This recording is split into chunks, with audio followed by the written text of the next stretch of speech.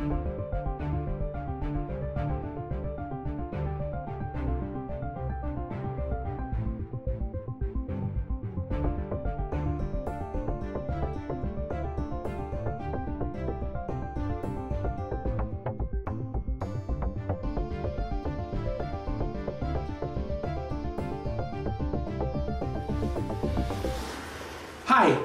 I'm here with my wonderful colleagues, the composer Mason Bates and the librettist Mark Campbell, the duo who is responsible for the amazing success of the new opera, The Revolution of Steve Jobs.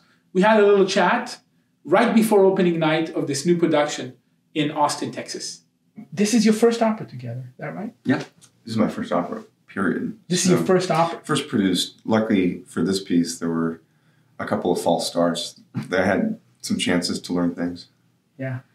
And how did it all start? Like, well, yeah, I mean, there was uh, years ago, um, before Santa Fe Opera got involved, Cal Performances um, was interested in an opera, and they asked me, "What would you want to write about?" And I felt like um, living in the Bay Area for a while, I felt like there was this opportunity to write about um, a creative technologist and to, to kind of include that figure um, in the pantheon of creative individuals that opera has explored. You know, there's like Death in Venice to, you know, La Boheme to Tales of Hoffmann. Opera can really explore artists. And I feel like Steve Jobs um, really behaved like an artist, even though he created this giant company. He, he really kind of ran it um, with an artist passion. And um, I found Mark Campbell because you know he's this uh, he's Mark Campbell. librettist of, of our time, and he he immediately um, just resonated with this idea of how can we treat this figure who's both protagonist and antagonist in a way that um, is not really a biopic, but um, is almost a kind of a kaleidoscopic approach to his life that would have an emotional arc um, from beginning to end in kind of one breath, so one act. You know, I find that interesting that every person that uh, thinks about Steve Jobs has a different, a slightly different lens. Sometimes it's very, it's a dichotomy. You know, some people say he's a villain, some people say he's a saint. You know, I feel like the two of you have um, see both lenses, but my feeling is that you admire him a little more than Mark did. Yes. Yeah, Is definitely. that correct? Yeah, I mean, when, when Mason first proposed the idea, and it was his idea, I was like, oh God, not Steve Jobs, because I hadn't done my research and I just had a negative impression about him being sort of just a corporate prick who you know, acted like a hippie and all that. But then I just, you know, of course, you start with the Walter Isaacson book, and I read that, and then I went, oh yeah, Mason's right. There's something, there's really a an incredibly complicated and I'll, I, will agree with you, artistic individual here that needs to be explored. Yeah, he he has this positive charge, this charismatic and creative, and he definitely has a negative charge, which is controlling and um, kind of hyper managerial. Um, and I find that the ground between those two charges is his wife, Laurene. She's really the one that was able to um, speak directly to him um, to put her foot down, say that you need to treat people better, you need to get chemotherapy, whatever it is. And so that was another incredibly important part of the story um, that we both agreed on very early was that um, the role of Laurene would, would kind of grow in importance over the, the course of the opera and, and even sort of steal the show at the end where she has these two big arias to close the piece.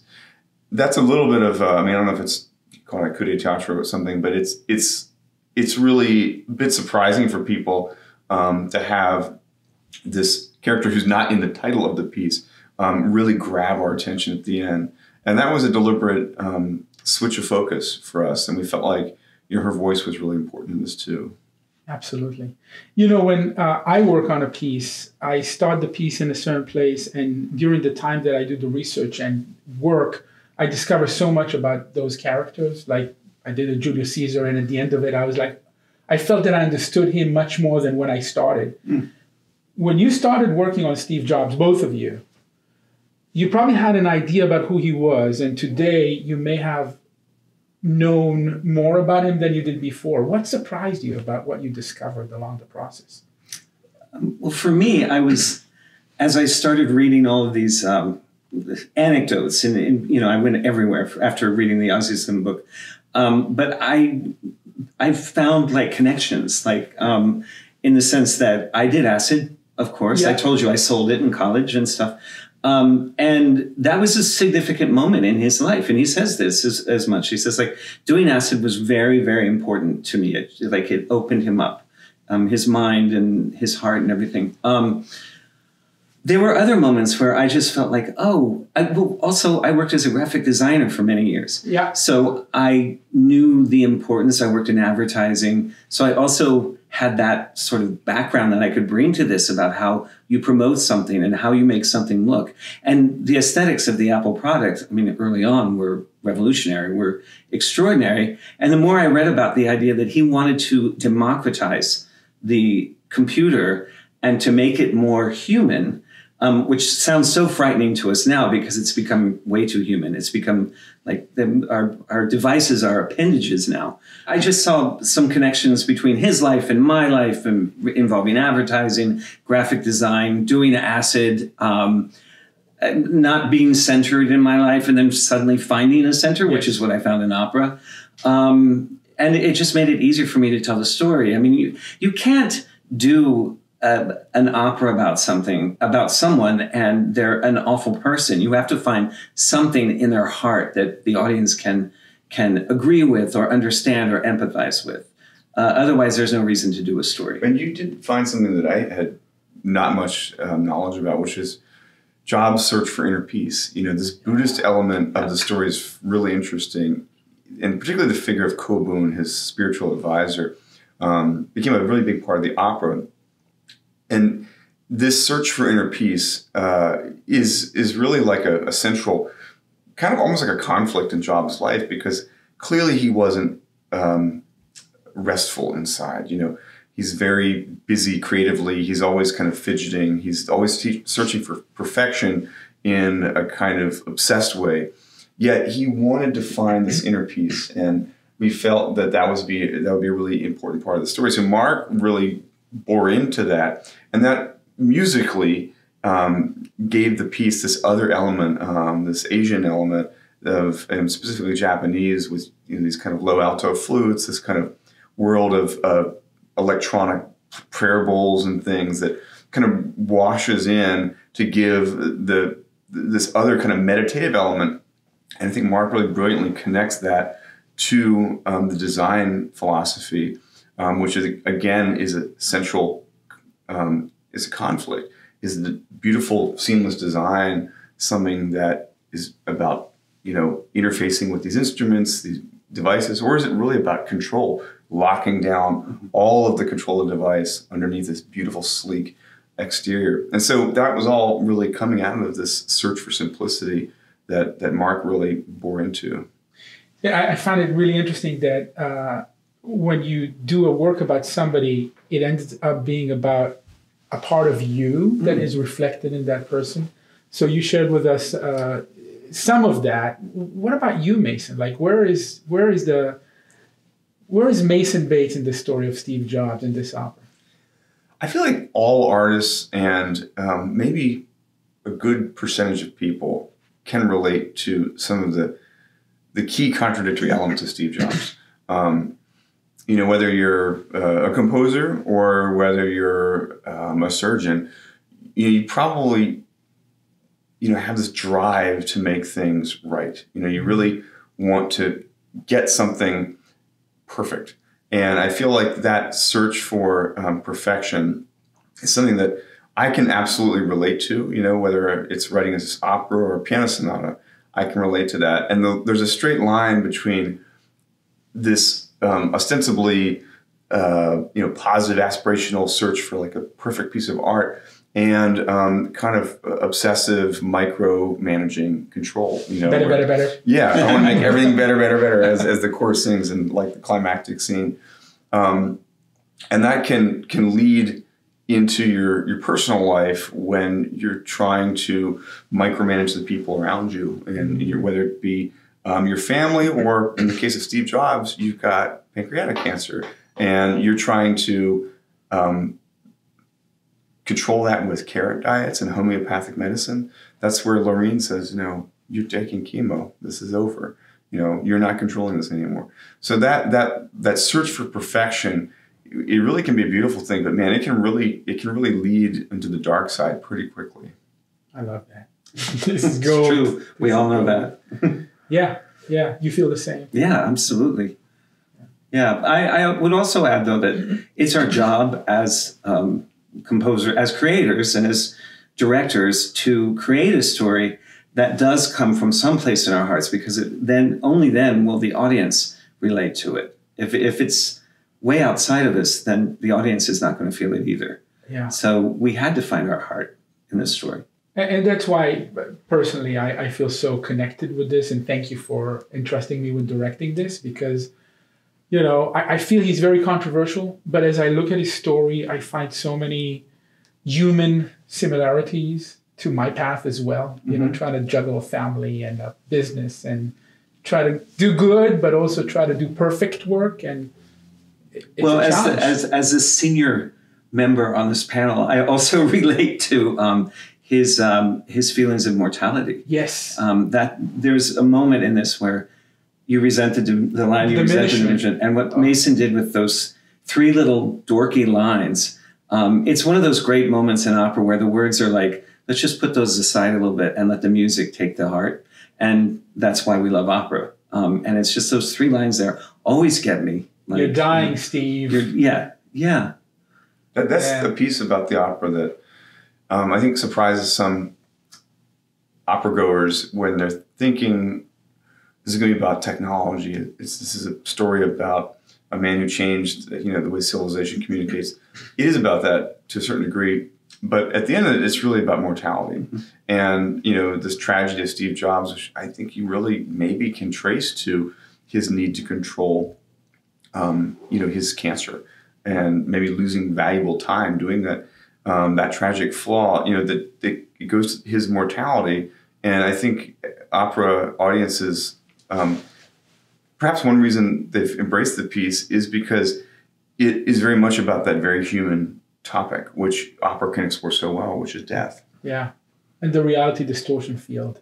You know, as we uh, as we record this, there's a big um, ice storm that is supposed to hit Austin and threatening our opening night. And if Steve Jobs was here, he'd probably say, "What ice storm? This is Yeah, he would. He, absolutely. night." Yeah, absolutely. You're absolutely right. Yeah.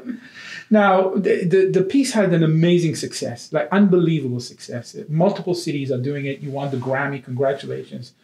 Did you expect this? I know you probably expected this to be. Why do you say that? Because you're Mark Campbell. No, I, it's not that I, I never know what's going to be. I mean, no, I, I, I thought Did you win the Pulitzer for another show? Should- is it- but that, that's a that's a whole different story. Um, I did actually expect a success with this, but uh, the reasons for it are outside of the story. So then we're talking about the business of opera. When Mason Bates writes something, people listen. So I knew right away that there was going to be a great deal of success connected with that. I'm not a fool um, in that regard, and I am ambitious, but I did not expect it. I I I didn't. It's becoming a phenomenon, It and that's something I didn't quite expect. And but that's also due to you with this new production. Uh, so I'm grateful to you for making that happen. And, and Mason, how, how did it feel like all this accolades and Grammy and I mean, really, the, the biggest first moment for me was um, the opening night in Santa Fe when we got to the very end Oh and, and the audience response. Because it, it's a bit of a hard thing to do a one act that feels like a full experience um, and, and it feels like this arc. And Mark and I, we were juggling on the one hand a piece that has uh, many new elements. You know, there's this, a lot of new electroacoustic things. There's this brilliant nonlinear storyline, um, and then it has some traditional elements that it's kind of a number opera with very clear arias and whatnot. Um, and we were trying to put all that together into a piece that goes from start to finish in about 100 minutes and um, needs to leave the audience feeling like it's just been this breath. And it was great to feel that we had the validation of, of the audience in the opening night because until that moment, we didn't really know how it was going to feel. I think, you know, as it's gone on, it's been really cool to see how different people have experienced in different cities, but now to see how you've reinterpreted in this beautiful way in this production. And um, not only just, of course, there's this new set, but there's a new just kind of um, concept to the piece, and, and I think in some ways both a, um, a streamlined simplicity to it, um, but also a reexamination of some of the, the, the, key elements of the libretto, which is um, there, there are elements of um, you know Asian theater in it, in the way it's presented, that um, are really present in this, even if in a subtle way. Seeing the characters that aren't on stage, kind of, uh, or on in this, are not in the scene, kind of still on stage, kind of waiting to go on in a kind of almost an abstract way. And then when they do come together, I feel like you really find a way to to to get the most of them emotionally. So it's got both a very human element and this cool abstractness to it. Mark, you watched it yesterday as well for the first time. Mm-hmm. What surprised you? What struck you yesterday on this new production? Um, well, I I, I really loved I mean what Mason said before. I really loved having all the characters, the main five characters. How many? But five characters on stage almost all the time. I thought that was a. It's just fantastic because this opera, this whole opera, pretty much exists in Steve Jobs' mind. So he, everyone, the way this story was written, it's not a typical story where someone enters, does a scene, and then they go off. They're always in his mind because they're always part of his memory. And he is just sorting through his memories. And you don't sort through memories by having someone enter, knock on a door, and then leave, you know, do a scene and then leave. They float in and out of your mind. And I think the word just a word just came to me. Um, the fluidity of the production. I really love because it's the fluidity of memory. It honors that. And that's what we were that's what we were aiming for. We weren't aiming for a biopic. It's not like we don't start, you know, him on the hospital bed um, looking back on his life. He looks back on his life in a whole different way uh, through meditation and also through the way memory leads from one memory to another. It's never in a chronological order. And um, yeah, I would say the fluidity of this production really, it's, it's really extraordinary. There are some um, very specific things I don't know if you want to hear about, but I love, first of all, how the, the, the production really responds to the music in, in a very um, in a very integrated way. I mean, obviously, opera should do that, but um, the way this does it is is almost like you're watching, um, uh, you know, a film or something where it's it's been worked out carefully in a studio for months and months in post production. Yet here we are watching it live. Um, I think about some of the interludes when um, you know just the projections and the the movement of characters around on stage is all just incredibly um, synchronized to the music, and it it makes the piece feel a little bit different from an opera. I mean, it, it almost has a, a kind of a show element to it, or like a music theater element that that I think is really exciting, and and the way that the um, there are levels on this uh, on this produ- in this production that give us all these different spaces to work with, even though it's um, on the surface, like it, it's a simpler production in many ways, um, but in terms of the, the forces involved. But when you put all of the elements together, it actually is um, unbelievably complex and rich, and there's a lot of different places you go with it. Thank you. You know, I, I have to uh, say that I've been working in this field for over 20 years now, and there are a couple of pinnacle moments for me. One was Silent Night. Hmm and I feel like uh, this premiere is going to be another moment that I'll never forget. And it's because of the work that you guys did. I mean, it, it captures the humanity of it so profoundly. And I think that's the reason for its success. It just hits you in the face. And we saw it yesterday in the final dress rehearsal. So I want to thank you for enriching my life and so many people's lives with this. It's well, thank you for, you know, bringing your vision to it and taking it to so many new cities.